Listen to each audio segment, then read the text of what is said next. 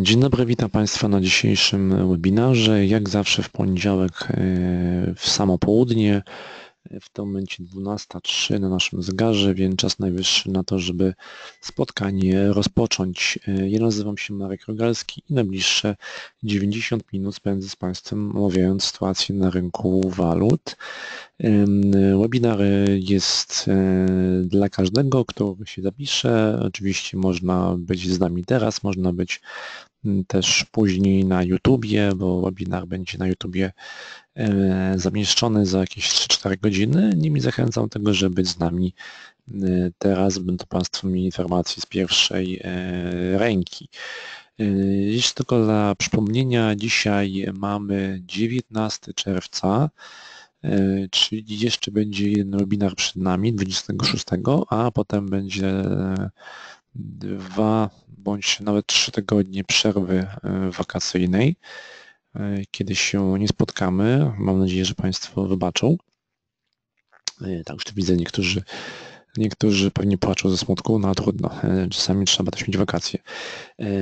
Także, także jeszcze ten webinar i następny, potem troszkę przerwy na wakacje.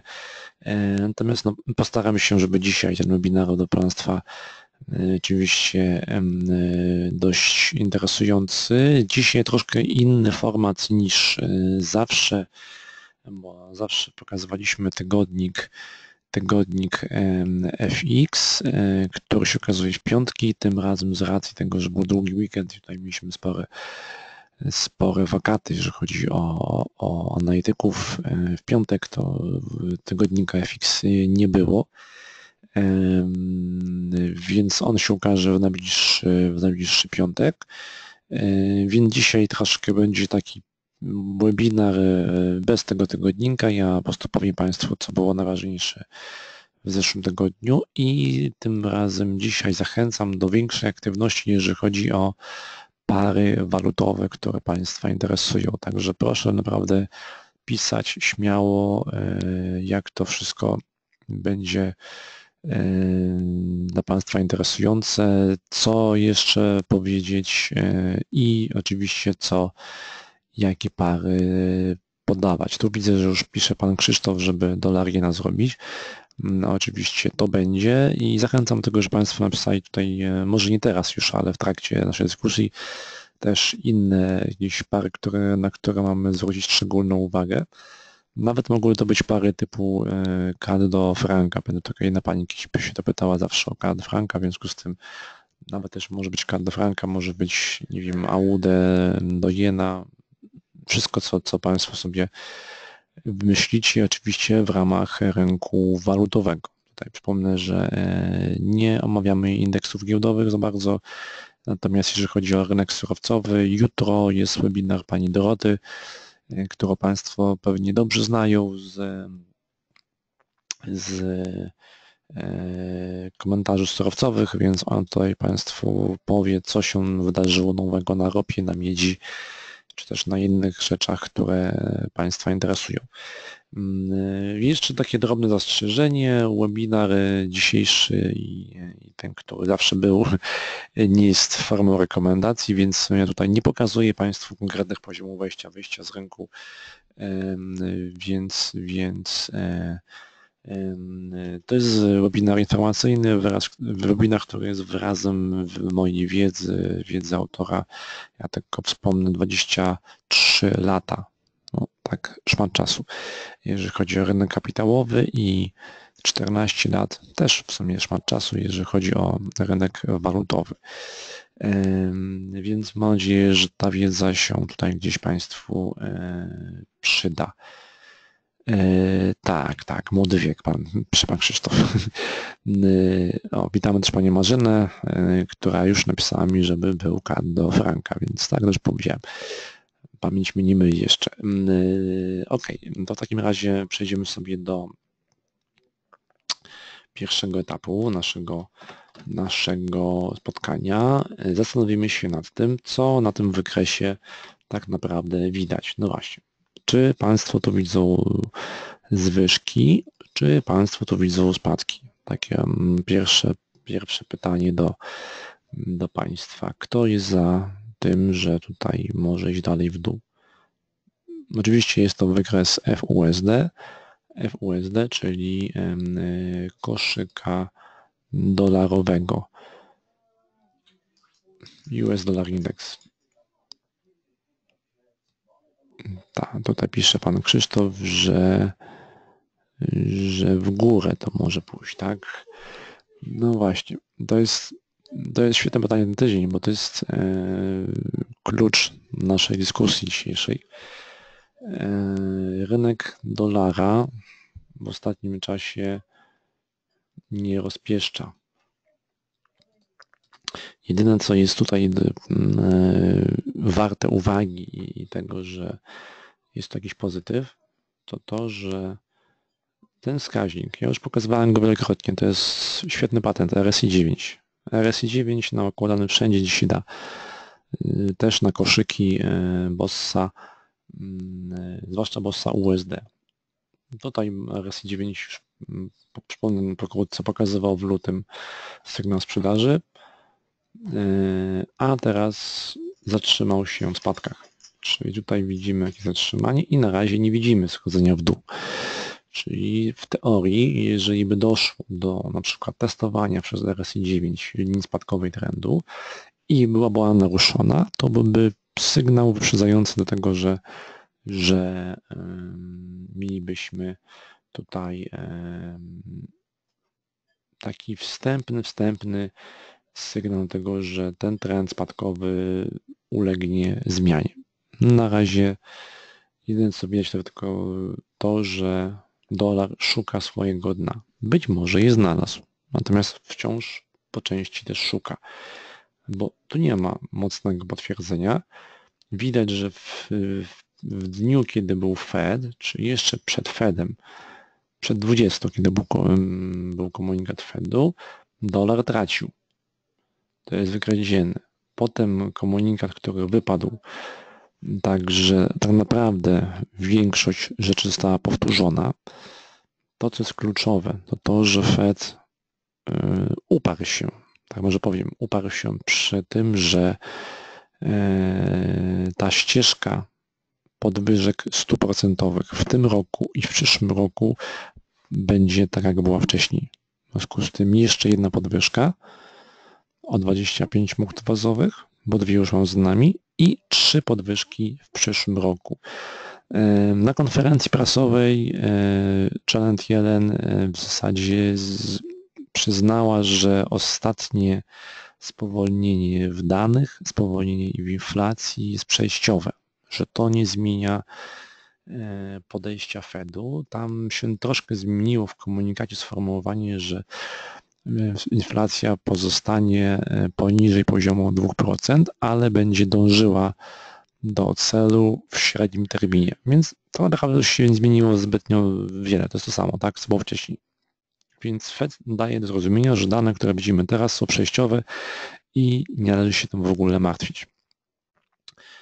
E, stąd też e, chwila jakby po tym, co, co było w komunikacie, dolar zaczął odrabiać to przecenę i w czwartek ten dolar indeks tam wykonał ładną białą świeczkę w górę. Gorsze jest to, że nie było kontynuacji, więc piątek się zaczął już tutaj od cofnięcia, które było kontynuowane do wieczora. No i otwarcie dzisiaj na razie tutaj wiele z tego nie wynika. E, czyli, czyli widać, widać, że mm, dolar indeks tak naprawdę cały czas szoruje po dnie. A czemu tak się dzieje? Bo rynek mówi, ok, dobra, skoro Fed mówi, że e, wszystko jest w porządku, no to niech się pojawią dowody. A dowodów na razie cały czas brakuje. Tutaj włączymy sobie kalendarz, wybierzemy sobie wersję dla USA tylko. No i zobaczmy, w przededniu, znaczy tak, przepraszam, w dniu, kiedy był Fed, Fed był wieczorem, wcześniej o godzinie w pół do trzeciej mieliśmy inflację, która no tak co ale rozczarowała, tak, bo widzimy, że dalej ta inflacja się y, cofa w dół. Bazowa już tylko 1,7, podstawowa 1,9 w ujęciu rok do roku. Konsumpcji też jakoś bardzo nie widać, bo sprzedaż detaliczna jest minus 0,3% w relacji miesięcy do miesiąca i te dane Fed zdaje się mówić, że ok, to nic złego, to się zmieni, tak? Tylko na razie rynek czeka na to, żeby się zmieniło coś. Nie widzi. Bo w czwartek przyszły też indeksy regionalne. Tutaj akurat jest jakaś poprawa, jeżeli chodzi o Philadelphia Fed, bo znaczy spadł mniej niż oczekiwano. Więc no jest poprawa, ale taka poziom już średnia. Tutaj widzimy poprawę na pewno. To jest indeks z Nowego Jorku. To oczywiście mocny skok, bo z minus jednego punkta do prawie 20. Ale rynek interesuje bardziej ta rzecz. A tu widać, że produkcja przemysłowa w maju 0,0 w relacji do kwietnia. Tak zwane wykorzystanie moc produkcyjnych się nieco zmniejszyło. 76,6, więc też powstaje, powstaje pytanie, gdzie to ożywienie, tak? Gdzie jest poprawa? Bo na razie świat mówi, że ok, ale rynek widzi, że to wszystko jest jakoś tak dane w piątek. Rynek nieruchomości, pozwolenie na budowę domów, spadek. I to nawet wyraźny wobec tego, co oczekiwano. Analogicznie, jeżeli chodzi o nowe budowy, Analogicznie, jeżeli chodzi o indeks nastrojów konsumenckich, Michigan też widać rozczarowanie. Czyli cały czas, jeżeli byśmy wzięli taki, e, nie mam tego pod ręką teraz, ale jakbyśmy wzięli taki indeks e, rozczarowań e, ekonomicznych, który jest sporządzany, to on dalej szedł w dół. W związku z tym, y, dopóki się nie poprawi coś w temacie danych, bądź ewentualnie, jeszcze jest in, inny wariant, bądź y, rynek na przykład nie otrzyma jakiegoś zapewnienia ze strony polityków w kongresie, że na przykład kongres będzie w stanie, nie wiem, do października przepchać ustawy podatkowe, no to nie ma impulsu, bo albo są dane lepsze, albo kongres mówi o reformach podatkowych, które też mają tam gdzieś na celu przyspieszenie gospodarki. Więc tutaj jest generalnie z tym problem. No i w ten tydzień to jest tydzień, który raczej jest ubogi, jeżeli chodzi o jakieś ważne publikacje, zwłaszcza. Tu nie ma ciekawego. No dzisiaj jest plaża, jutro jest saldo rynku bieżącym, coś co z reguły mało interesuje. Eee, sprzedaż na domów na rynku wtórnym to jest w środę czwartek wskaźniki wyprzedzające. Y, wstępne indeksy PMI. Tu troszkę może budzić jakieś emocje, ale z reguły to ISM jest ważniejszy dla rynku, a nie PMI. Więc tutaj będziemy sobie zerkali y, na to, jakie, jakie będą wypowiedzi członków Fedu, bo jeżeli Janet Yellen twierdziła, że te dane nie są niepokojące, że to jest wszystko przejściowe, to rynek chciałby, żeby ta retoryka, y, nazwijmy to bardziej jastrzębia, była również powtarzana przez innych kluczowych członków Fedzie, czyli na przykład przez Dudleya, który uznawany jest za y, bliską osobę do jeden, czy też przez Fischera. Fischer jest to wiceprezes Fedu. Y, jutro też mamy wystąpienie Iwansa, tutaj nie ma tego w kalendarzu jeszcze jest Kaplan i na przykład w czwartek mamy Jeroma e, Powella z zarządu Fedu. Więc zobaczymy, czy retoryka tych członków Fedu, zwłaszcza w temacie inflacji, będzie zbieżna z tym, co mówi jeden. Jeżeli rynek zobaczy, że w zasadzie z tych powiedzi to mało co wynika, to będzie dalej zagadka. Zagadka dotycząca tego wykresu. Ja go pokazywałem Państwu przed posiedzeniem Fedu w zeszłym tygodniu. Pokazywałem go w poniedziałek. To jest e, na stronie giełdy, Chicago, giełdy Chicago CME Group i to jest taki wykresik, który, na którym widać mm, widać e, właśnie nałożenie tego, e, tych oczekiwań członków Fedu plus e, to, co rynek sobie wycenia. No i widać, że na razie tutaj się wiele rzeczy nie zmienia, a to jakbyśmy sobie spojrzeli na szacunki dotyczące kolejnej podwyżki stóp procentowych, to widać, że w lipcu szanse są tylko 2,5%, czyli to w ogóle prawie jakby nie było. We wrześniu szanse są 12,8%, też bardzo mało. Listopad 14,3% i grudzień 36,3%. Bardzo nisko. Tymczasem Fed powiedział, że będzie jeszcze jedna podwyżka w tym roku. Jak widać, rynek do tego podchodzi dość sceptycznie. No pytanie, pytanie właśnie, dlaczego? Albo rynek zakłada, że Fed, skoro zdeklarował się już teraz co do szczegółów e, redukcji bilansu Fedu, tam było pokazane jak to będzie skala miesięczna i tak dalej, to na tym się tylko skupi, mm, albo po prostu zwyczajnie rynek potrzebuje danych, żeby uwierzyć w to, co mówi Fed. Więc e, jeżeli w tym tygodniu właśnie nie będzie tej retoryki jakiejś takiej bardziej jastrzębiej z strony członków Fedu, no to, no to może być e, trochę problem z utrzymaniem tutaj tego, tego wsparcia. Czyli byłoby ryzyko, że tak to było w środę przed samym Fedem, rynek spróbuje wybić nowe dno. Bo tu zobaczmy, że w środę to nowe dno się wybiło poniżej, poniżej dołka z początku e, czerwca. Ten dołek pierwotny to był z, e, z początku czerwca, 6 czerwca 96,45. Tymczasem 14 e, czerwca było 96,28. Tak, no i pytanie, czy teraz my to utrzymamy, tak? Czy nastąpi jakiś, jakaś próba jednak zejścia, zejścia jednak jeszcze niżej.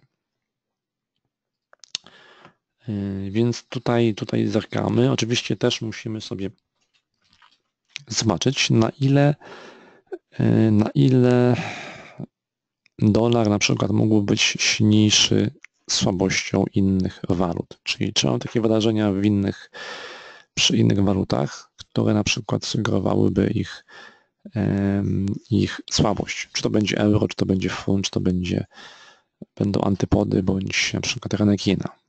Zaraz sprawdzimy, ale na razie fundamentalnie to tutaj to wygląda wszystko jeszcze jakoś tak nie do końca przekonująco, jeżeli chodzi o dolara. Czyli należało być ostrożnym. Yy, tu jest taki fajny wykres na naszej platformie, którego też można użyć sobie w dyskusjach. Yy, F-Note 10 tygodniowy. F-Note 10, czyli benchmark dla obligacji rządowych dziesięcioletnich. To jest oczywiście yy, indeks cenowy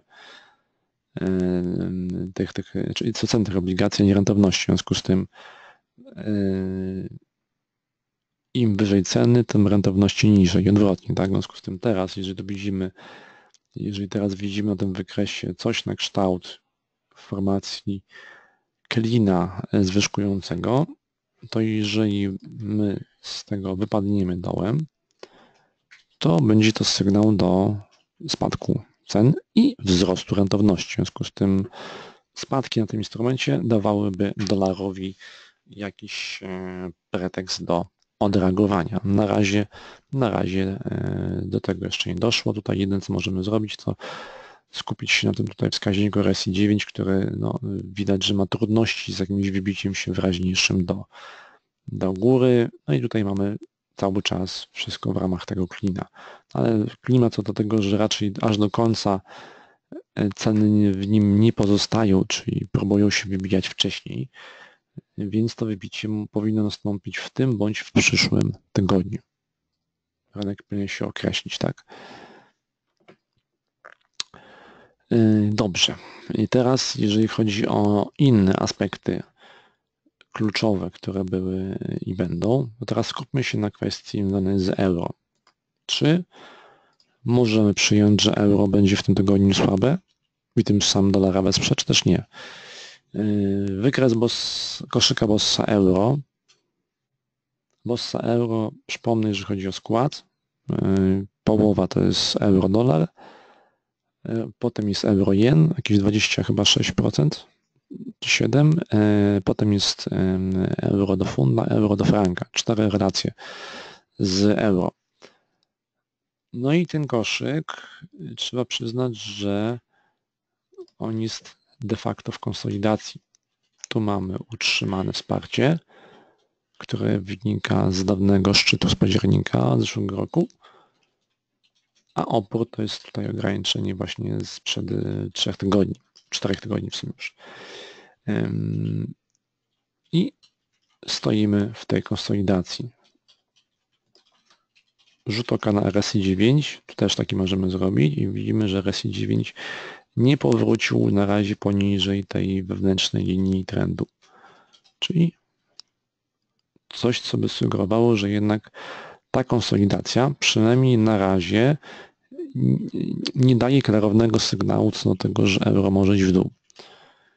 Jeżeli chodzi o informacje, które y, mogą być dla euro istotne, to tak, za nami są wybory we Francji i te wybory we Francji przygniatając, znaczy potwierdziła druga tura mm, bardzo dobry wynik dla e, koalicji e, partii Emmanuela Macrona, czyli e, innymi słowy Emmanuel Macron, prezydent Francji dostał dzięki wyborom pełnię władzy, czyli prezydent plus parlament plus ta duża większość E, więc to otwiera nam drogę do, do, do reform.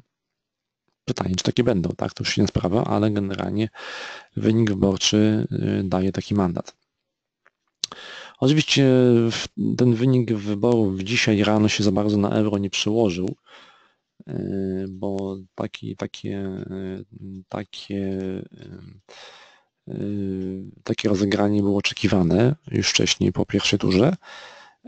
Więc teraz to, co moim zdaniem jest kluczowe, jeżeli chodzi o politykę w, w Europie, to bynajmniej nie, nie wybory w Niemczech, bo jak spojrzymy na wybory, na sondaże dla Niemiec, to tam mm, chyba się pojawił sondaż ostatnio w weekend 38-39% dla CDU-CSU, 25% dla SPD więc to pokazuje, że Angela Merkel przynajmniej na razie ma wygraną w kieszeni. Tak? Te wybory w Niemczech są e, w trzecim tygodniu września, więc jeszcze za jakieś trzy miesiące, ale generalnie takich zagrożeń za bardzo nie widać. W związku z tym ta perspektywa, e, że będzie porozumienie Merkel i, Macron e, przez parę lat, to, to, to, to, to się na razie nie zmienia. Natomiast to, co jest ważne dla rynku, to kwestia wyborów, ale we Włoszech. Wybory we Włoszech, czemu o tym mówię? E, z tego powodu, że za tydzień, w niedzielę, na najbliższą niedzielę, 25, będzie druga tura wyborów samorządowych we Włoszech. Po pierwszej turze e, partia, znaczy ugrupowanie Ruch Pięciu Gwiazd, e, ugrupowanie eurosceptyczne miało kiepskie wyniki w dużych miastach. I to, to by sugerowało, że mm, ruch pięciu gwiazd miałby szansę na znaczy nie miałby za bardzo szans też w wyborach do parlamentu. Ja może postaram się znaleźć teraz tutaj Państwu y, y, Państwu y, a to są akurat wybory dla Francji. Zaraz piszemy jest Next Italian Election i tutaj sobie poszukamy, jest polling. To są grady ze strony z Wikipedii, polecam w miarę na bieżąco aktualizowana. E, o, to są najnowsze sondaże, które e, zaczynają faworyzować znów partię demokratyczną. Czemu ja to pokazuję? Bo jeżeli by się okazało, że wybory samorządowe rzeczywiście wypadły kiepsko dla ruchu pięciu gwiazd, halo, halo, o, coś tu widzę, ktoś mi zgłasza, że głos ucieka. Dobrze. Eee, czy teraz jestem słyszalny? Proszę o informacje od innych. Raz, dwa, trzy, raz, dwa, trzy. Raz, dwa, trzy. O, dobrze, ok. Tu piszą inni Państwo, że że głos jest. Ok, dobra. No właśnie, czyli czemu o tym mówię generalnie? O tym mówię, że jeżeli okazałoby się, że po wyborach samorządowych ruch pięciu gwiazd wypadł kiepsko, to będzie moim zdaniem duża, duży nacisk na to, żeby zrobić wybory przedterminowe we Włoszech już na jesieni. Ten pomysł gdzieś tam się pojawił, w zasadzie decyzja jest po stronie prezydenta, e, natomiast coś czuję, że czekano na to właśnie, żeby zobaczyć, jakie będą wybory samorządowe. E, I, i, I wtedy, wtedy te wybory na jesieni byłyby we Włoszech i one mogłyby stanowić jakiś element ryzyka dla rynków. Bo co jak co, ale to nie jest jakiś wynik, który daje spokój. Tak? Tutaj cały czas jest tak, taki wyścig. Ruch pięciu gwiazd, Partia Demokratyczna i na, i na, na zmianę, na zmianę. Oczywiście może tak być, że jeżeli wybory samorządowe padną kiepsko, to będzie teza, że w sondażach ruch pięciu gwiazd może być na przykład nieco zawyżony, tak? No ale tak czy inaczej, wybory we Włoszech we wrześniu bądź październiku będą elementem ryzyka dla euro, ale to się dowiemy dopiero pewnie za tydzień bądź dwa, czyli dziś w końcu czerwca, jeżeli właśnie yy, zapadnie taka decyzja, żeby te wybory wcześniejsze jednak zrobić, bo normalnie według kalendarza one powinny być za rok w maju, ale są pomysły, żeby to zrobić szybciej, yy, na co naciskają i Francuzi i Niemcy, którzy chcieliby już pracować e, nad jakąś integracją w ramach strefy euro, a jeszcze muszą czekać na wybory włoskie. Więc, więc, więc e, to jest ten czynnik, który ewentualnie mógłby tutaj nam jakoś dać, też wydłużyć tą korektę spadkową na euro. Bo tak na razie to jest, e, jest wyczekiwanie posiedzenie Europejskiego Banku Centralnego, które było na początku czerwca, ono pokazało, że ECB się nie będzie spieszył, ale rynek wie, że tak czy inaczej ECB już jest na takiej ścieżce e, pewnych zmian. Czyli E, dalej się utrzymują spekulacje, że na jesieni ECB ogłosi mm, dalsze zmniejszanie skali programu QE. Co jest ciekawe, Mario Draghi ostatnio twierdził, że żadna dyskusja odnośnie taperingu, czyli tych ograniczeń nie, nie miała miejsca.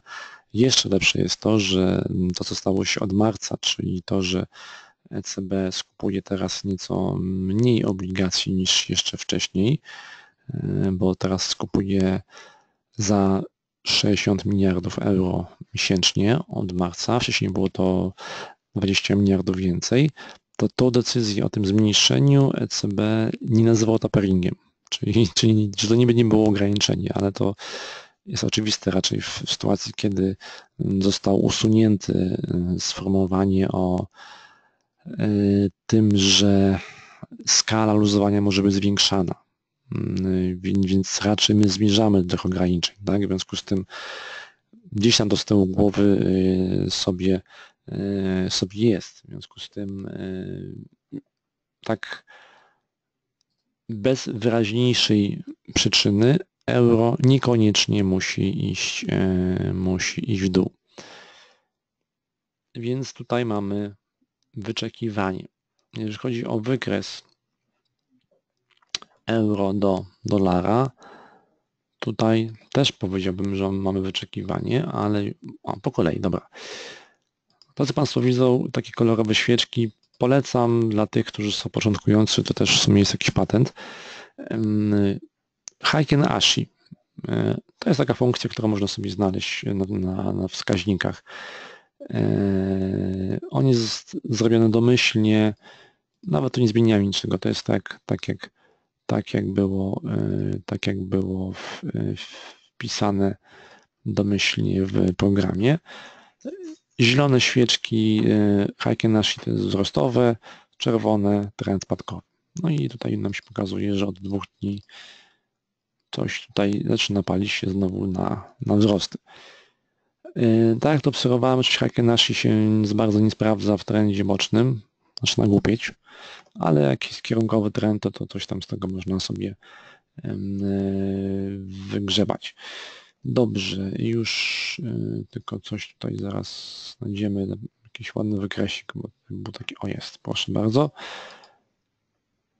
To co na razie widać, to tak, wypadliśmy z kanału wzrostowego na euro-dolarze, to jest ten kanał, który był rysowany od połowy kwietnia i w czwartek został on opuszczony, w piątek był powrotny, no ale jakoś rynek tutaj się nam zaciął, więc no niby według teorii, teorii ruchu powrotnego wynikałoby, że powinniśmy iść w dół.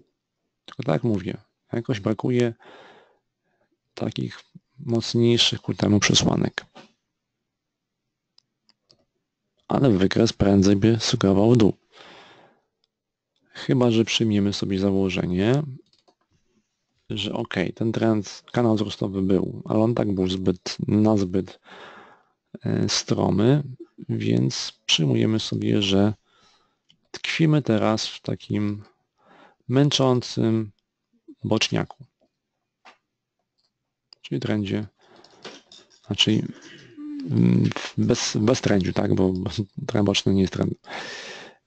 Tak naprawdę. E, o, coś takiego możemy przyjąć założenie czysto boczne, czyli tutaj dziś sobie szukamy wsparcia przy 1.11, 11.20 i się tego i się tego trzymamy, tak?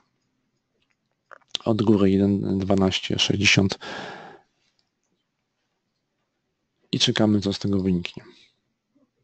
Tutaj takie szersze ujęcie, niby jeszcze jakieś założenie może było na kanał, ale widać, że on nie ma punktów wspólnych, więc tą linię czerwoną, którą Państwo tutaj widzą, ja uznał za taką bardziej hipotetyczną, e, która nie ma tu większego wpływu na nasz układ techniczny, więc reasumując 1.11 z dołu, 1.12.60 kilka z góry i czekamy na jakiś mocniejszy, mocniejszy impuls. No jeżeli chodzi o kalendarz na ten tydzień, to tutaj za bardzo bardzo nie ma z takiego ciekawego. Oczywiście mamy wstępne indeksy y, PMI za czerwiec, to poznamy w piątek 23.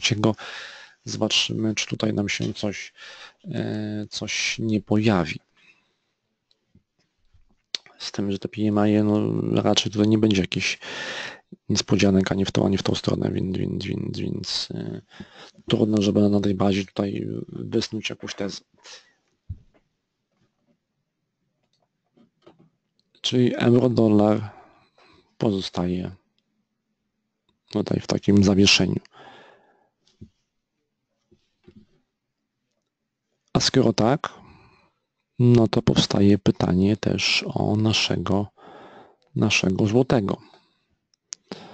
Złoty, który miał e, wyraźniejszą reakcję wtedy, kiedy u nas święto, otóż taka jest, widzę, tradycja, że jak u nas jest jakieś święto, a rynki finansowe normalnie pracują, to, to u nas są jakieś ciekawe rzeczy się dzieją. No i tak, mamy. Tutaj był Fed w środę, a w czwartek u nas yy, Boże Ciało, wszyscy inni normalnie pracowali i mieliśmy na koszyku Bossa PLN wyraźny, wyraźny spadek. Odreagowanie na koszyku przyszło w piątek, no i teraz czekamy na jakieś dalsze, dalsze wskazówki. Tu jeszcze y, wrócę na chwilkę do pary euro do dolara. Tutaj jakieś pytanie się pojawiło od pana Rafała. Więc wracamy na chwilkę do wykresu, bo pan Rafał tu nam zadał pytanie dosyć istotne w dyskusji, bo to jest pytanie w sumie słuszne. Pytanie dotyczące, czy to, co tu widzimy, na przykład nie jest czymś takim. Czyli dobrze nam znanym RGR-em. Tylko pytanie, czy zro- R zrobić w tym miejscu, że już było, czy R dopiero może być. No, jak na to prawe R, to to chyba byłoby krótkie, no ale zobaczymy. W każdym razie coś tutaj jest, więc teraz, żeby się przekonać, czy to jest to, powinniśmy zweryfikować tą formację przez ewentualny układ wskaźnikowy. To informacje na dziennym wykresie, więc ja sobie tu wrzucę yy, dzienne wskaźniki. No i co my tu widzimy? Codzienne wskaźniki od pewnego czasu pokazują już yy, układ spadkowy.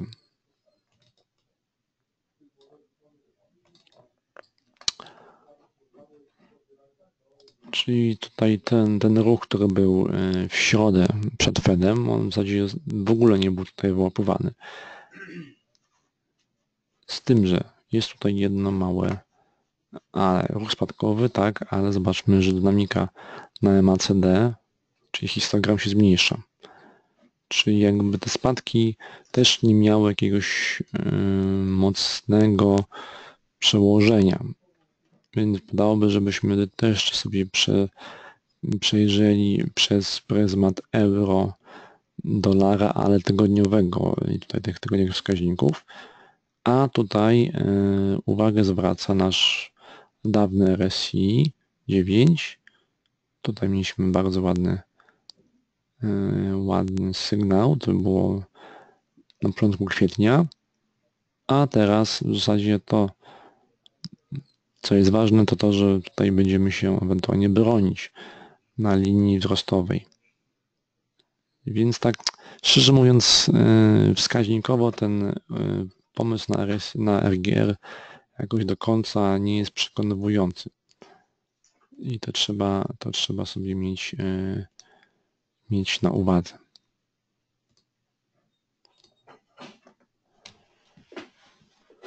Ale oczywiście, oczywiście e, to tylko zwiększa jakby ważność tego obszaru, który tutaj jest na żółto. 1.12.35 1.12.65 mniej więcej. Ten obszar, który nas interesuje jako, jako mocny opór. E, pan Andrzej się pyta, na jakim poziomie będzie ta para walutowa, czyli euro-dolar na jesieni. No to jest pytanie bardzo, bardzo dobre. E, tutaj czekam, tak powiedziałem, na te Włochy. W końcu czerwca, na początku lipca sądzę, że ten temat wyborów wcześniejszych na jesieni we Włoszech się wyjaśni.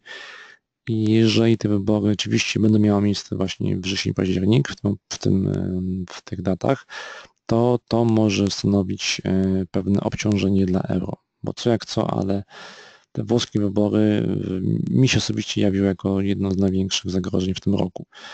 O ile Francja aż taka ryzykowna nie była, tutaj jak Państwo widzieli te sondaże we Włoszech, to jest takie e, no, coś, co na pewno e, może wzbudzić troszkę niepokoju,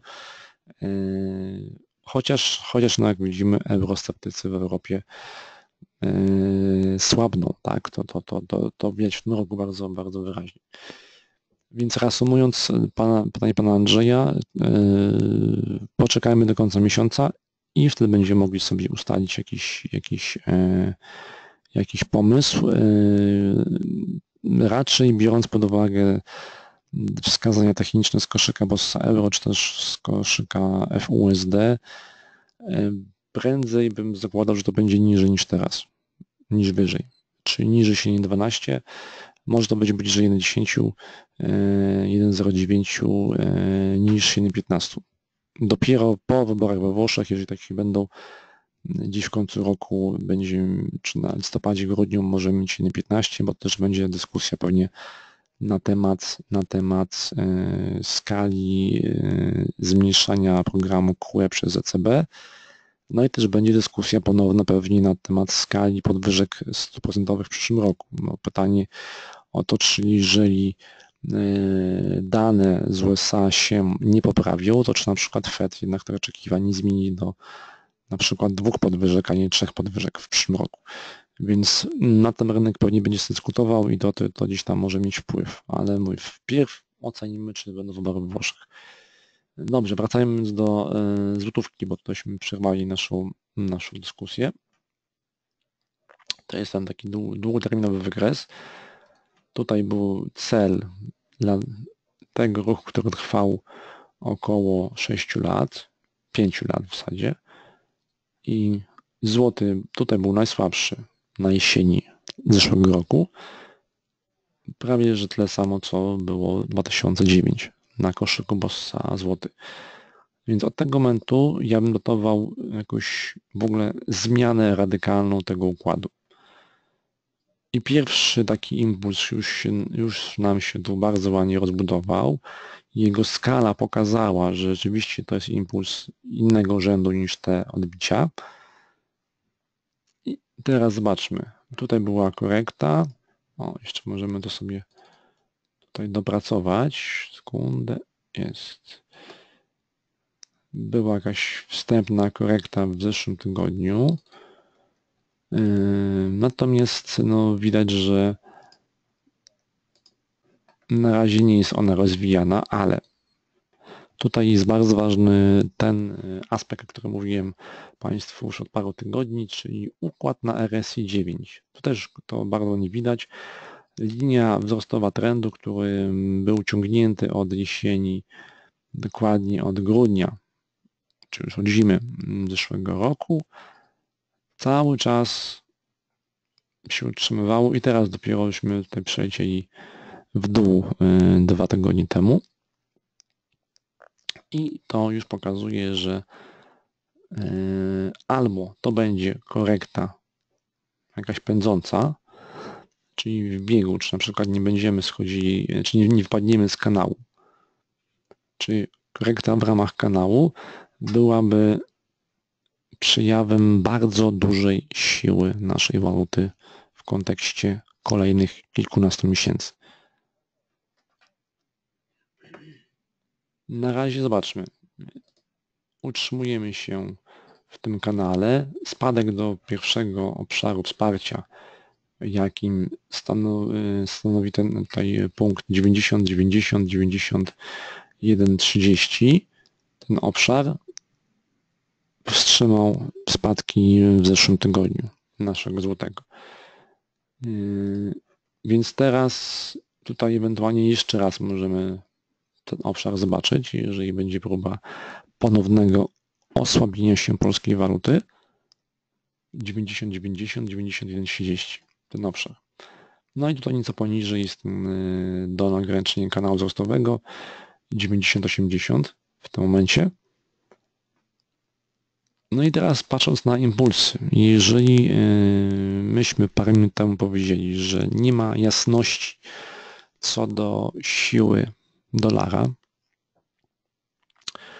czyli jeżeli e, dolar mógłby być jeszcze nieco słabszy przez jakieś bliższe kilkanaście dni, to w takim układzie złoty nam się nieco umocni. Czyli Czyli na przykład jak tutaj sobie spojrzymy, to być może dojdzie do na przykład do próby podejścia o w ten rejon. Jeszcze raz może narysujemy. Na przykład coś takiego.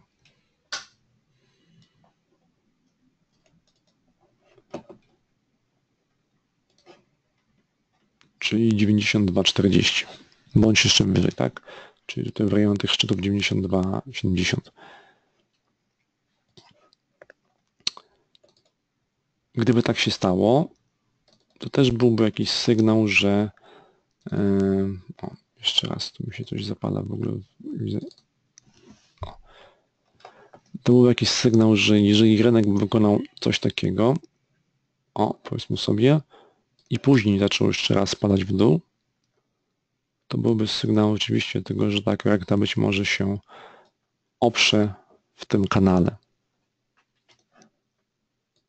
Tylko teraz właśnie powstaje pytanie o zachowanie się dolara w miesiącach wakacyjnych i po wakacjach. No wiadomo, że raczej w sytuacji, kiedy euro-dolar będzie spadał, jeżeli będziemy się bać sytuacji we Włoszech, to my ten kanał możemy puścić. Jednak i wtedy należały przyjąć taką strategię. Czyli coś takiego mniej więcej, tak? Gdzieś w perspektywie na, na, do jesieni, tak? Taka, takie bujanie się w takim horyzoncie. Co tak wspomniałem, RSI 9 pokazał, że rynek złotego będzie teraz w korekcie. Ona może być pędząca, co pokazywałoby siłę rynku. Wtedy ewentualnie możemy zejść po prostu niżej. Przekonamy się. Głównie zerkałbym na temat związany z dolarem. Dopóki dolar będzie słaby, to tutaj nasz region, nasz region będzie zachował się dobrze. Fundamentalnie wypadamy, wypadamy jako region dość, dość ciekawie. Ryzyko związane z polityką w Europie po wyborach we Francji jest niższy, ale tak jak wspomniałem, przed nami wybory we Włoszech, pytanie kiedy. Więc te, te, te, te aspekty na pewno trzeba będzie brać pod uwagę. Na razie złoty jest w jakiejś formie korekty. Jeszcze chwila takiego e, zajeżdżenia na region, żeby sprawdzić, co ciekawego jest tu w regionie. Tutaj, jeśli chodzi o region, to faworyzowaną walutą jest korona czeska. Tu widać to bardzo ładnie w wykresie dziennym, gdzie po zniesieniu kapa, który tutaj był bardzo długo, czyli bardzo centralny tego poziomu dość długo bronił, po zniesieniu tego kapa widać, że korona czeska się umacnia i tutaj rynek oczekuje, że jeszcze w tym roku że jeszcze w tym roku Bank Czech podniesie poziom stóp procentowych. To jest ten element, który właśnie koronę, koronę czeską wspiera. Jeżeli chodzi o forinta węgierskiego, tutaj jest nieco, nieco gorzej. Jeżeli chodzi o wygres, jest to mniej klarowny ruch i tu raczej bym powiedział, że my, że my sobie zaczynamy budować jakąś platformę dla trendu bocznego. Coś takiego mniej więcej można by tutaj sobie yy, wyrysować. I będziemy sobie czekali, tak? Co dalej? Zwracam uwagę na wskaźnik RSI na to, że RSI nie wybił nowego dna kilka dni temu. Podobnie jak też inne wskaźniki.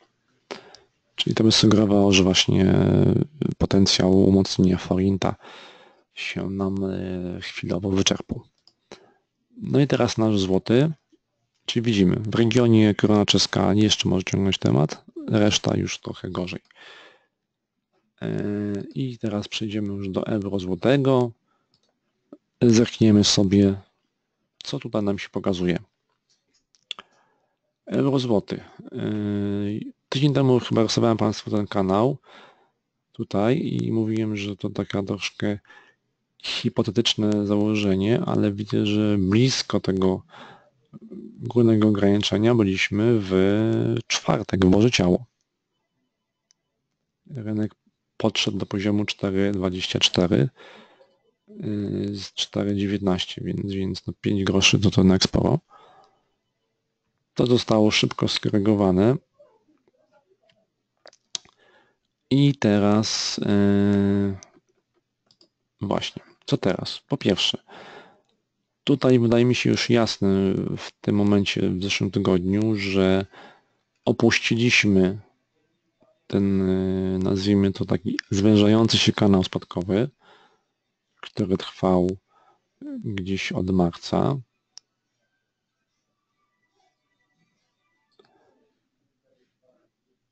I zaczynamy budować albo trend boczny, albo trend boczny, ale z takim nachyleniem nieco pod górę. Czyli ten tutaj kanał, któryśmy sobie zaobserwowali. Dolne ograniczenie 4,18, 4,17, nieco, 4,18 powiedzmy. Górne 4,24,5. Na razie rynek jest w środku. Jeszcze po drodze możemy dać poziom 4,19,5 jako taki poziom gdzieś środkowy, no i poziom właśnie tutaj oparty o dawne dołki z marca, co jest teraz, czyli rejon 4,20,5. Na razie tutaj nie ma jakiegoś wyraźniejszego sygnału kierunkowego, no chyba, że to zobaczymy na wskaźnikach. O właśnie. A wskaźniki takie coś nam pokazują. Zobaczmy. Po pierwsze średnie na tym dziennym układzie. Widać, że średnie się nam poprzecinały, czyli te średnie krótsze przecinają średnie dłuższe i to jest z reguły sygnał do, do jakiejś zmiany trendu. MACD jest ponad zerem.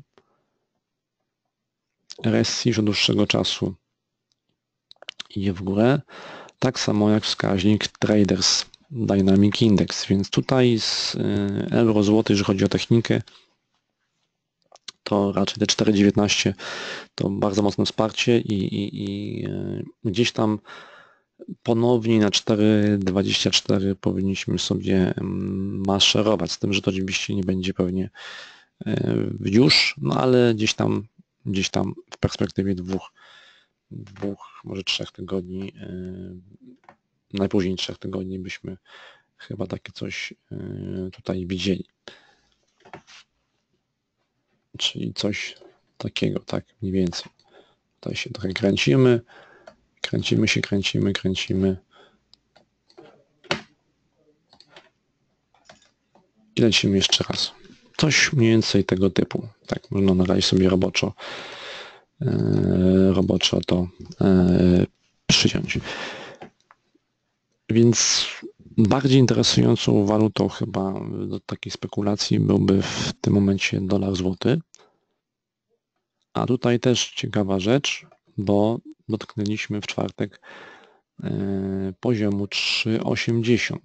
W ogóle ruch, który się pojawił od znaczy od minimum, które było w środę, a to minimum było przed komunikatem Fedu, bo pamiętamy, że euro-dolar poszedł do góry na 12,90 blisko, y, więc od tego minimum tutaj, które było przy 3,71 do maksimum dzień później wykonaliśmy ruch blisko ponad 9-groszowy.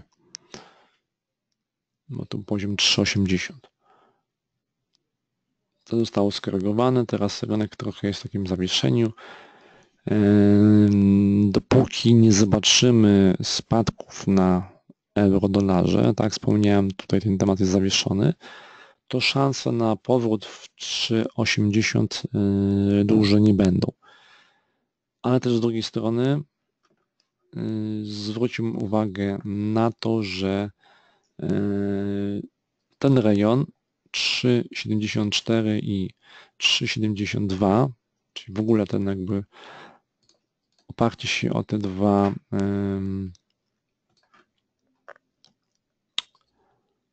o, o te, te, te dwie wartości, to jest bardzo mocne wsparcie dla dolara złotego.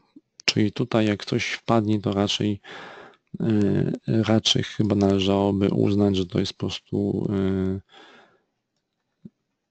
y, takie wsparcie, z którego można by coś ewentualnie tutaj yy, zmontować. To raczej kanał się nam na razie nie, nie sprawdzi. No zobaczymy. Temat, temat na pewno do obserwacji i impulsowo euro-dolar. Jeżeli zakręca, to dostajemy, dostajemy pretekst do, do yy, ruchu. Pytanie fundamentalne, y, które tutaj sobie można postawić, to to, czy możemy zejść poniżej, y, poniżej poziomu y, dołka, który był 4 czerwca 3,7012. No właśnie, czy możemy? Weźmy wykres tygodniowy, który nam pokaże, że dołek, który był na początku czerwca przy 3,70 był zbieżny z dołkiem, który był e, rok temu w marcu, też przy 3,70. E, więc widać, że jakby impulsowo rynek wykonał zniesienie całego ruchu pomiędzy marcem a grudniem. W dłuższym horyzoncie uwagę zwraca chociażby taka linia rysowana od dołka 2008 przez poziom z roku 2014. On tutaj był przy niecałych, niecałym, niecałych 3 zł.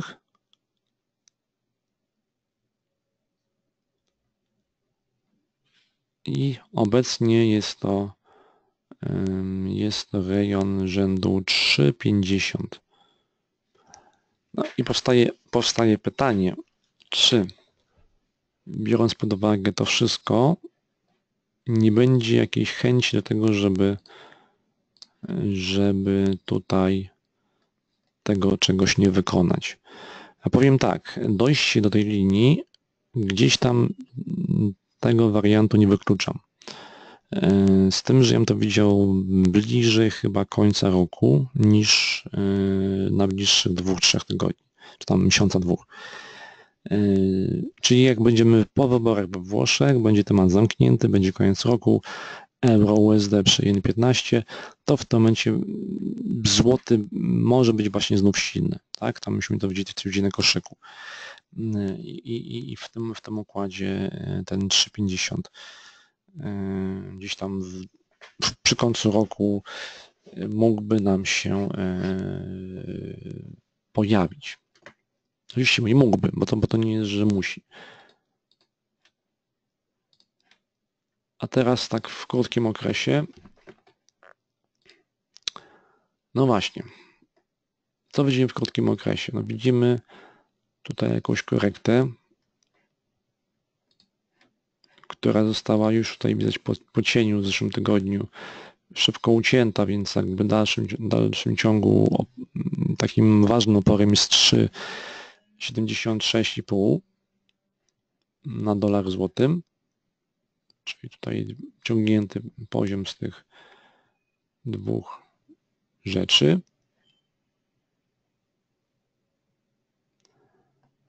I w takim układzie, w takim układzie e, właśnie pozostaje pytanie o oznaczenie tego obszaru.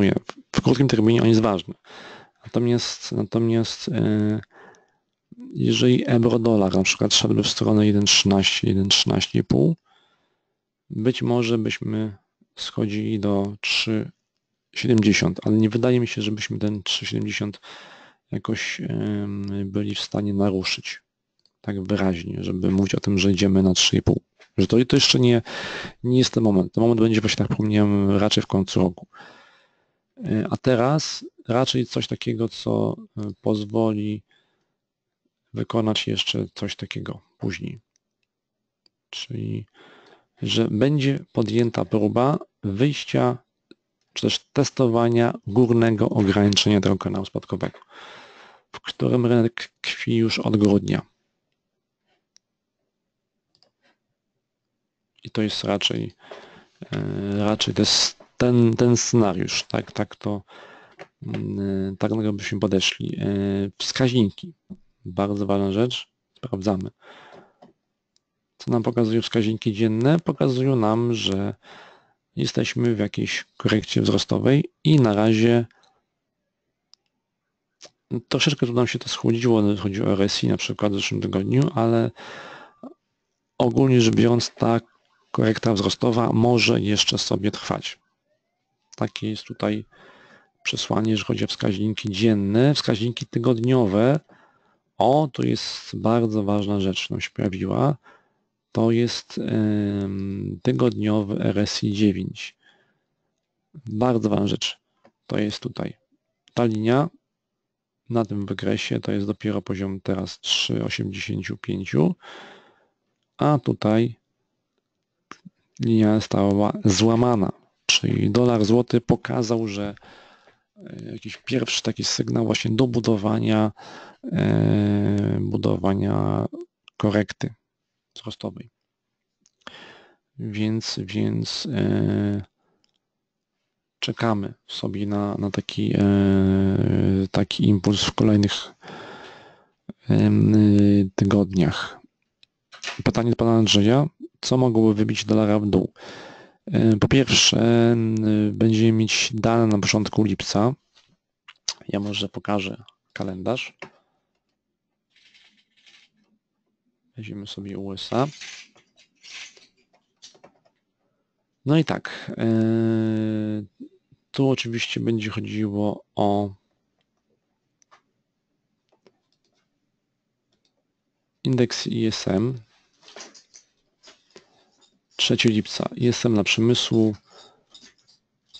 6 lipca ISM dla usług. Po drodze mamy bardzo ważną rzecz, czyli protokół z tego posiedzenia, które było w zeszłym tygodniu. Protokół poznamy 5 lipca i mamy 7 lipca dane o zatrudnieniu, w tym dane na temat dynamiki wynagrodzeń, dynamiki płac.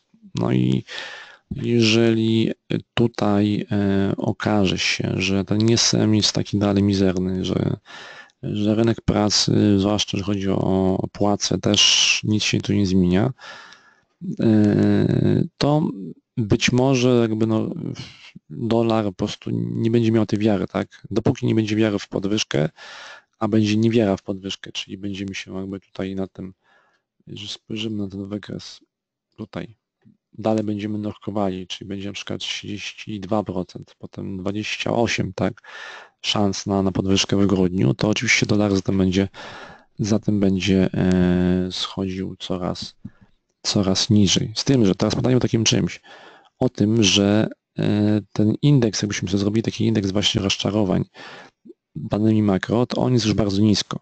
Tutaj też zobaczmy, że e, jeżeli to będzie 20% tutaj szans na podwyżkę w grudniu, to ja bym tego podchodził w ten sposób, że jest więcej prawdopodobieństwa w rozczarowaniu potem do góry niż do dołu, tak? bo już jest wszystko bardzo, bardzo, bardzo e, nisko. To pan Andrzej się pyta jeszcze o ten okres e, około grudniowy, co mogłoby sprawić, że dolar będzie słaby. To właśnie tak powiedziałem na samym początku, jeżeli dane które będą w najbliższych miesiącach, one nie będą jakieś nazbyt, e, nazbyt dobre, czy stale będzie ta inflacja gdzieś tam pozostawała niska, będzie niskie płace, e, to rynek zacznie wątpić w to, czy Fed w przyszłym roku będzie skłonny ponieść trzykrotnie poziom stóp procentowych. W ogóle będzie też temat dyskusji odnośnie podwyżki w grudniu, czy ona będzie miała miejsce, czy też nie, tak? Czyli jakby sam, sam fakt tego też tutaj może coś nam na to e, wpłynąć. Teraz jeszcze kilka ważnych rzeczy, bo ważną dyskusją, którą należy teraz podjąć, poza złotym, jest temat związany z funtem. Funt, ja dzisiaj w ogóle zamieściłem Państwu wykres, wykres notowań koszyka funta. To jest to. Koszyk handlowy funta, proszę bardzo. Tutaj jeszcze zaraz dokonamy pewnych zmian. O, coś tutaj nie wiem, jak się to, tego pozbyć. O, nie ma, dobra, jest, poszło. Yy, wykres zmian koszyka Yy, koszyka funta, koszyka handlowego. Zobaczmy.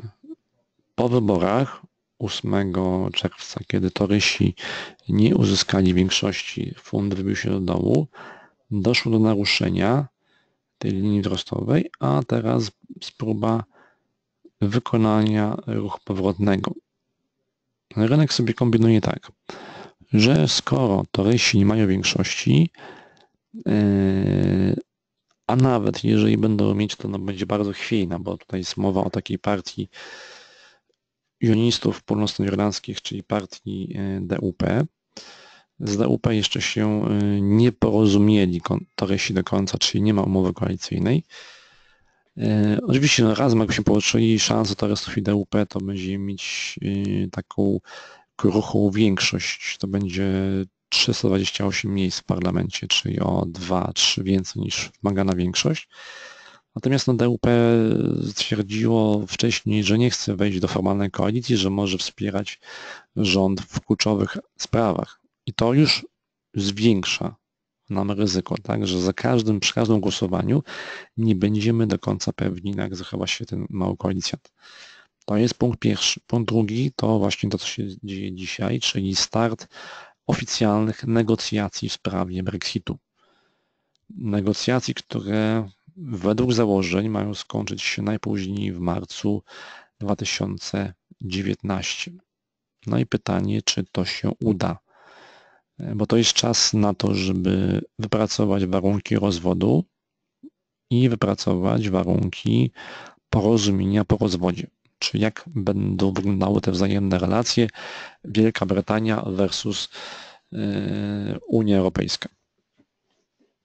I przy E, przy e, sytuacji, w której rząd premier May nie ma większości, rynek sobie kombinuje, że skoro tak, no to pewnie ten tak zwany twardy Brexit, którego chciała premier May, nie dojdzie do, yy, że nie będzie realizowany, tak, że ta linia będzie zmiękczana po prostu z tego powodu, że, że May będzie musiała negocjować poparcie w parlamencie, a tutaj cały parlament, czyli mm, e, Partia Pracy, czyli laborzyści e, i też opozycja, liberalni, demokraci, czy też Szkocka Partia Narodowa, wszyscy, wszystkie te grupowania są za tym, żeby ten Brexit był bardziej łagodny. Czyli żeby, żeby właśnie nie, nie robić tego takiego twardego, twardego wyjścia. No i powstaje pytanie o to, czy to, co teraz widzimy, to jest gra pod łagodny Brexit. Osobiście rzecz biorąc, uważam, że to jest bardzo naiwne podejście, czy też po prostu rynek, e, rynek za chwilę przekona się, że te negocjacje, które się dzisiaj zaczynają, one mogą być trudne, zwłaszcza właśnie w sytuacji, kiedy nie ma się rządowej większości w parlamencie kiedy trzeba się z, e, jakby tak bardzo umiejętnie lawirować. Dla mnie osobiście przy tym scenariuszu, przy tym scenariuszu e, powstaje duże ryzyko tego, że w ciągu tych dwóch lat niecałych nie uda się wynegocjować porozumienia, czyli że w pewnym momencie się pojawi taki strach przy tym, że będzie jednak jakiś chaotyczny Brexit, pewnie będziemy mieć jakieś ostre zwroty akcji pod hasłem, że obie strony się nawzajem obrażają i uważają, że już dalej nie negocjują, czyli będzie, będą ryzyka zerwań negocjacji i tak dalej, tak dalej. W związku z tym to, e, to będzie bardzo trudny okres, a pamiętajmy o tym, że im więcej tych trudności, tych zwrotów akcji pod hasłem, że się kłócimy i zrywamy negocjacje, e, tym gorzej dla gospodarki brytyjskiej. Czyli tutaj e, zobaczmy, no, gdybyśmy byli firmą, która operuje w Wielkiej Brytanii i nie wiedzielibyśmy, jakie będą warunki e, naszej egzystencji za dwa lata, no bo nie wiemy, jakie będą warunki po rozwodzie, tak? Z Unią Europejską, no to raczej byśmy się wstrzymywali inwestycjami, tak? W związku z tym to, to jest ten główny element, który powoduje, że gospodarka po prostu jest w takim stanie zawieszenia. Natomiast to, że e, w zeszłym tygodniu mieliśmy zaskoczenie e, przy posiedzeniu Banku Anglii, bo przypomnę, że posiedzenie było w czwartek, kiedy u nas było Boże Ciało, tam było posiedzenie Banku Anglii i okazało się, że aż trzech członków tego gremium głosuje za podwyżką stóp procentowych. A to może Państwu pokażę jeszcze ten wpis z 16 czerwca z piątku jest 5 do 3. Za podwyżką 25 punktów bazowych głosowała nie tylko Christine Forbes, która odchodzi właśnie teraz, ale i też Jan McAfee i Michael Saunders. Skąd takie mm, zachowanie? Obawy dotyczące inflacji, że ta inflacja jednak może być wyższa niż to oczekiwano we wcześniejszych projekcjach. W związku z tym ci członkowie Fed zaczną się wahać, tak? Życzę członkowie Banku Angielską się wahać. znaczy mają obawy co do inflacji. Natomiast ja nie uważam, żebyśmy patrzyli tylko wyłącznie przez pryzmat inflacji, bo, bo podwyższanie stóp w sytuacji, kiedy możemy mieć niejasność odnośnie Brexitu, byłoby dość ryzykowne dla Banku Anglii. To byłby kasus tego, co zrobił Europejski Bank Centralny w roku 2011. Tam była podwyżka stóp, po czym mieliśmy kolejne fale kryzysu w Europie i to wypadło w fatalnie. W związku z tym, e, w związku z tym to, to, to, to, to nie, jest, nie jest chyba właściwy moment. W każdym razie szanse na podwyżkę stóp w perspektywie roku wzrosły do 50%. Wcześniej było to 12-13, teraz jest 50%, w związku z tym na tym też tle funt nieco odreagował. Natomiast ja mam wrażenie, że po prostu e, rynek powinien się bardziej skupić na tym właśnie, że, że e, tu jest rok powrotny i potem jednak będziemy zmierzali w stronę, e, w stronę na południe. Czyli jeżeli teraz to będziemy chcieli przełożyć na jakieś wykresy, zobaczmy. Funt dolar, w ogóle dość ciekawy case pary funt dolar, która z jednej strony już jeszcze w końcu maja wybiła się, pon, wybiła się poniżej linii wzrostowej trendu, czyli te wybory, które to były E, do parlamentu już rynek był w fazie takiej, że jest do spadku. Teraz znowu dotarliśmy, niby, niby to możemy zrobić taki pseudokanał spadkowy, dotarliśmy do jego dolnego ograniczenia. Teraz ponownie rynek wykonuje jakąś próbę ruchu do góry i zbliżamy się do ograniczenia tego kanału od góry. Ciekawy układ na wskaźnikach się pojawia, bo znów niby jest bliskość sygnału kupna, tak było w tym momencie i też rynek się na tym sparzył. Więc ważniejszy może być układ na RSI, a RSI pozostaje w trendzie spadkowym, chociaż tutaj jak sobie spojrzymy na ruch, który się pojawił po 8 czerwca, to on, to RSI nie miało takiego mocnego wybicia w dół, jak e, to było na indeksie bazowym. To RSI wykonał bardzo łagodniejszy, znaczy łagodniejszy ruch niż, niż e, fund dolar na wykresie bazowym. Więc ciekawe to bardzo jest założenie. Będziemy na pewno obserwować e, wyraźnie funta. Na obecną chwilę ta para, ja bym powiedział, że jest taką parą trochę, znaczy dość trudną do analizowania. Y, tutaj bardziej potrzeba by chyba było też siły w dolarze. Dolar, tak mówiłem, nie daje kierunku, a funt nieco stara się odreagowywać w takim układzie. Natomiast trudno ocenić na ile taki ruch może być może być e, ruchem e, wzrostowym, a na ile to jest tylko wyłącznie podbicie. Na pewno do obserwacji będziemy ten wykres e, zamieszczali w komentarzach dziennych, bo to oczywiście jest dość, dość ciekawy, ciekawy wątek. Więc jeżeli szukamy czegoś z funtem, to myślę, że warto zostawić funta z jakąś silną walutą. No nie będzie to na pewno para funt do jena, bo fund do jena to tak on tam pokazywał fund do jena bardzo fajne rzeczy wcześniej. Natomiast ostatnio jen się zachowuje słabo. I zobaczmy, ten nasz fund do jena E, zatrzymał się przy naszej linii spadkowej, e, linii wzrostowej trendu kilka dni temu, wybił się do góry, przekroczył nasz kanał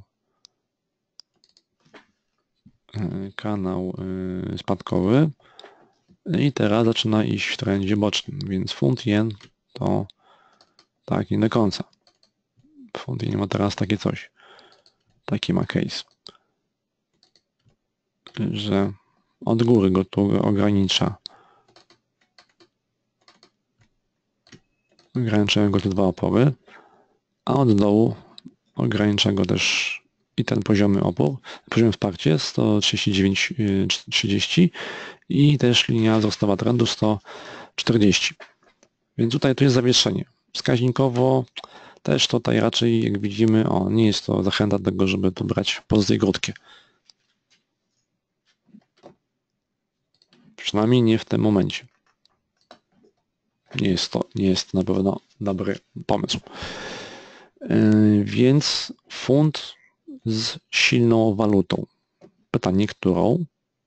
A chociażby, chociażby można by zrobić coś takiego jak na przykład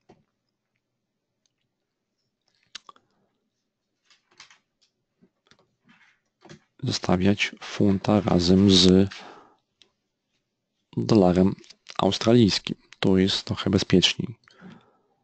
Mówię trochę, bo i tak jesteśmy już po jakimś większym e, spadku.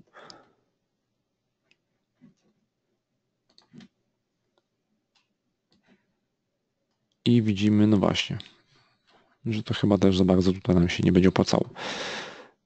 Więc, więc jeszcze jest inna możliwość, byśmy sobie sprawdzili relację. O właśnie, to jest ciekawiej na pewno. Euro do funta. Na ile to euro może być na ile funt. Na ile funt. Nie, to też widzę, że nie, bo tu też. E, no, czyli mamy wniosek. E, mamy wniosek, że trudno nam zostawić jest po prostu funta grającego na słabość w najbliższym czasie. Czyli na razie, na razie czekamy sobie na to, jak zachowa się koszyk funta tutaj w tym momencie. Bo widzimy, że nam tu się trudno klaruje gra na słabość funta, jak spojrzyliśmy przez wszystkie pary. E, jeszcze prośba była od pana, pana Andrzeja, żeby poruszyć wykres e, dolara do jena na zasadzie risk on, risk off, tak jak to wygląda. I pani Marzena napisała na początku o kadzie do franka. Więc już sobie robimy nasz e, dolar do jena. Tutaj jeden coś ciekawe na tym układzie to, to e, wykres tych tego wskaźnika RSI, który coś tutaj niby mówi o tym, że ten układ się zmienia. Że z tego, że z tego gdzieś tam nastąpi takie coś. Tylko, że to jeszcze potrzebujemy ku temu czasu.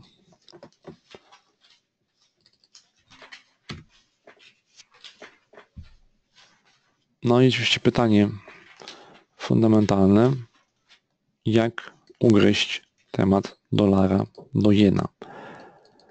W zeszłym tygodniu posiedzenie było, posiedzenie banku Banku Japonii. Ono było w piątek. Ważne z tego posiedzenia jest to, że po pierwsze nic się nie zmieniło, a to już to było, to było oczywiste, że się nie zmieni, ale ważne jest to sformułowanie, że Bank Japonii dał do zrozumienia, że jakiekolwiek dyskusje odnośnie jakichś zmian w programie QE i tak dalej są stanowczo zbyt wczesne. I ucięto tym samym y, spekulacje rynkowe, które gdzieś tam mówią, że Bank Japonii być może zmniejszy skalę programu skupu aktywów o 20 bilionów jenów w ujęciu rocznym, bo teraz skupuje ich za 80 bilionów. Taki ma górny pułap. To zostało ucięte. Nie ma takiej dyskusji. W związku z tym y, potwierdza się chyba to, co kiedyś Państwu powiedziałem, że Bank Japonii będzie ostatnim bankiem centralnym, który, który um, zacznie kombinować nad programem wychodzenia z luźnej polityki. Czyli, czyli to dla Jena no nie jest na pewno informacją, która go może y, wspierać. Więc w tym układzie, w którym bank Japonii mówi, my się nie spieszymy, nie mamy w ogóle tematu do rozmowy na, o tym, żeby coś robić wcześniej, a z drugiej strony Fed, który mówi o tym, że podtrzymuje wszystkie oczekiwania odnośnie skali podwyżek. To tylko z, z tego kontrastu tych dwóch rzeczy wynikałoby, że mamy szansę na yy, zmianę kierunku na dolar jenie. Tylko oczywiście znów powstaje pytanie o to, co mówiłem na początku, czyli wiarę w to, co mówi Fed. Na razie rynek za bardzo w Fed nie chce wierzyć, ale też z drugiej strony to nie daje argumentu za tym, żeby grać na coś takiego. Raczej nie. Raczej, jeżeli spojrzymy na wskaźniki, to bardziej prawdopodobny scenariusz jest scenariuszem, jeżeli już, scenariuszem oczekiwania na impuls, ale jednak wzrostowy. On nie, może być później, nie musi być nawet teraz. Oczywiście może być od razu, ale tak wspomniałem wcześniej, że tam z dolarem nie ma do końca pełnego zaufania, więc trend boczny na dolar i czekamy. Jeżeli chodzi o, o, o elementy ryzyka, e, to tak jak wspomniałem, no w tym momencie e, globalnie mamy, znaczy możemy mieć ewentualnie Włochy na, we wrześniu. Temat Korei Północnej gdzieś tam się nam zapomniał. Temat danych kiepskich z Chin gdzieś tam tłumiony, więc, więc na razie to takich, takich nowych tematów ryzyka na horyzoncie nie widać, które mogłyby tu rękami zatrząść. Jedyne, co może budzić pewien niepokój, to jest, już pokazuje, to jest ten wykres, który może budzić pewien niepokój, albo mógł budzić inaczej, o tak powiedzmy. To jest indeks giełdy S&P 500, czy giełda w USA.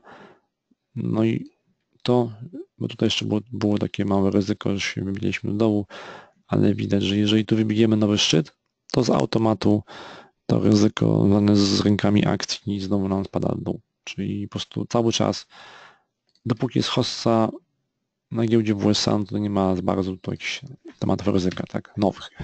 Więc wybicie nowego szczytu na S&P 500 dawałoby yy, falę słabości na rynku jena. Mamy 5 minut, więc biorę na tapetę Karla do Franka.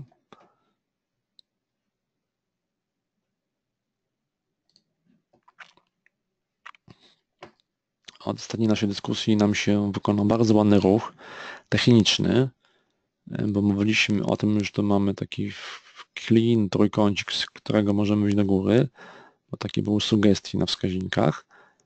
E, ruch się wykonał po części, czy w dużej mierze tak naprawdę dzięki temu, że tam się pojawiła wypowiedź e, wiceprezes Banku Kanady, która y, przyznała, że być może warto by podjąć dyskusję na temat jakichś ram czasowych w temacie luźnej polityki.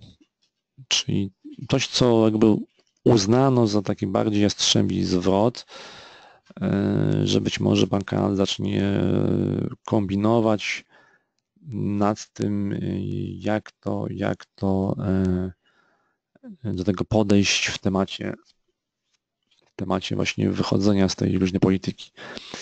Więc Kanadyjczyk poszedł właśnie wyraźnie do góry. Na rynku ropy, jak spojrzymy sobie też jakieś denko być może nam się zopało, bo tu widzę, że zjechaliśmy do, do wsparcia, które Państwu rysowałem tydzień temu. Więc być może tutaj coś nam się tu ropy jeszcze dołoży do kada, ale no właśnie, technicznie to do franka dojechał do oporu.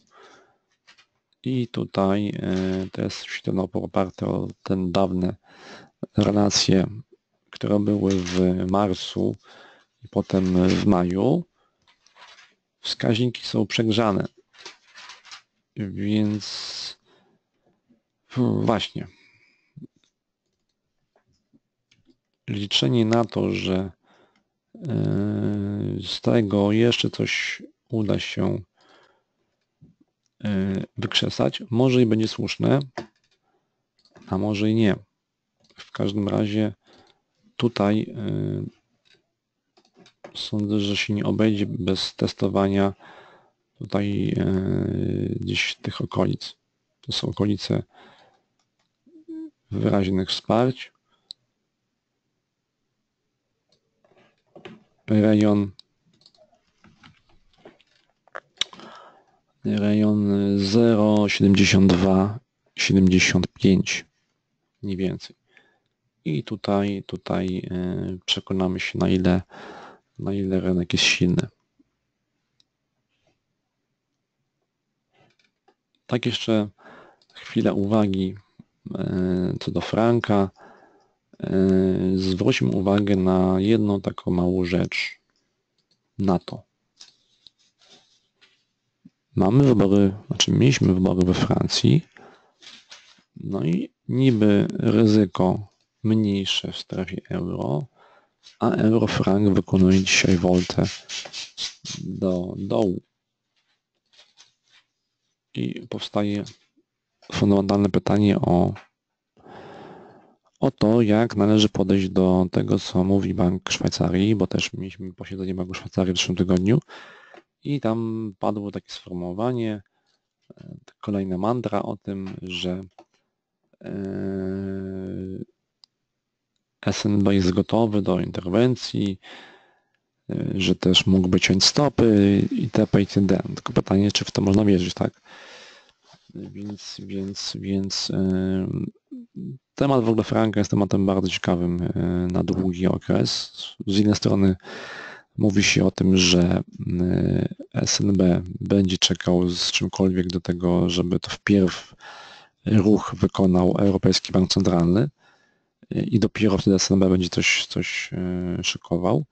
No ale pytanie też o to, czy rynek e, nie zacznie kombinować, na ile SNB będzie, będzie w stanie bronić w najbliższym czasie kursu e, franka przed nadmiernym umocnieniem.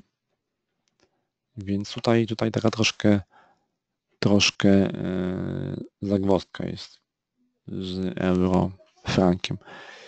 Tutaj pan Rafał się pyta o szybkie podsumowanie webinara, co gramy w tym tygodniu, która waluta słaba, a która może być e, silna. W tak bardzo prostym, bardzo prostym wykombinowaniu nie, nie jest proste. W każdym razie ja bym zwrócił uwagę w tym tygodniu na dolara nowozelandzkiego, o tym jeszcze nie powiedziałem dzisiaj.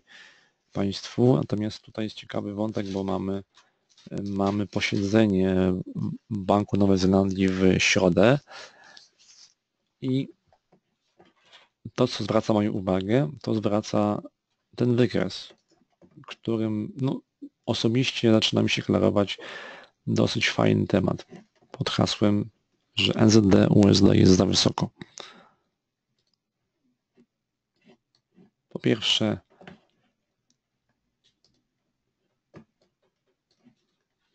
nałożenie na siebie linii trendu rostowego tej od 12 maja. Spójrzmy na RSI 9. Tutaj już się wybiliśmy. Tu jeszcze nie. Tu następuje też zaraz zobaczymy sygnał na MACD do sprzedaży. Stochastic już to zrobił. Więc jest dużo tutaj aspektów do tego, żeby przyjąć założenie, że rynek nadmiernie E, znów ma jakieś oczekiwania co do e, Banku Nowej Zelandii, a być może RBNZ utrzyma się w tym takim w tym takim gołębim nastawieniu, czekając na jakieś dane późniejsze, a nie nic nie sugerując rynkom na bliższym czasie. W związku z tym e, NZD, USD tutaj może być ciekawym pomysłem, jeżeli chodzi na bliższe, na bliższe dni, tak pytając właśnie e, pana Rafała właśnie, co w tym temacie jest. Dobrze, e, mamy 13.32. Czas na to, żeby nasz webinar zakończyć. Będziemy tutaj punktualni w tym akurat dzisiaj. Zachęcam do webinara za tydzień, 26 czerwca. I oczywiście na YouTubie możemy sobie webinar jeszcze raz jakby co obejrzeć. Więc dziękuję za uwagę i widzimy się y, za tydzień, jeżeli chodzi o webinar, a w ciągu najbliższych dni, jeżeli chodzi o y, komentarze na bieżąco. Dziękuję za uwagę.